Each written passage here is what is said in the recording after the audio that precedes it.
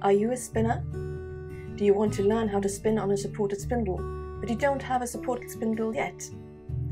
Or do you have a supported spindle, but you're struggling with it? Perhaps you've seen a spindle online that you love, but you're not sure if it's the right one for you.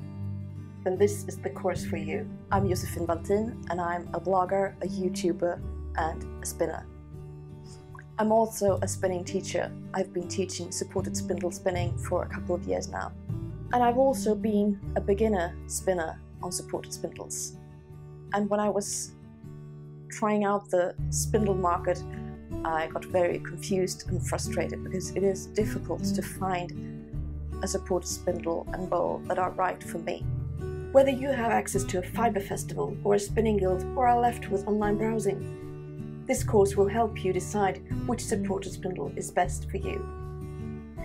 This is a free online course in how to pick a supported spindle and bowl, a quick guide to finding your best supported spindle and bowl in three steps.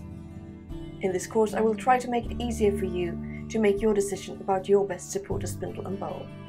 We will look at what to look for in a supported spindle and bowl, important features of the spindle, but also your own spinning context, where to find supported spindles and bowls on or offline, how to get a second opinion on one or two models or makers you like. When you have finished this course, you will feel more confident in making the decision about which spindle and bowl to buy. And maybe, just maybe, there will be an online course in how to spin on a supported spindle as well. So welcome to this course in how to pick a supported spindle and bowl. Happy spinning!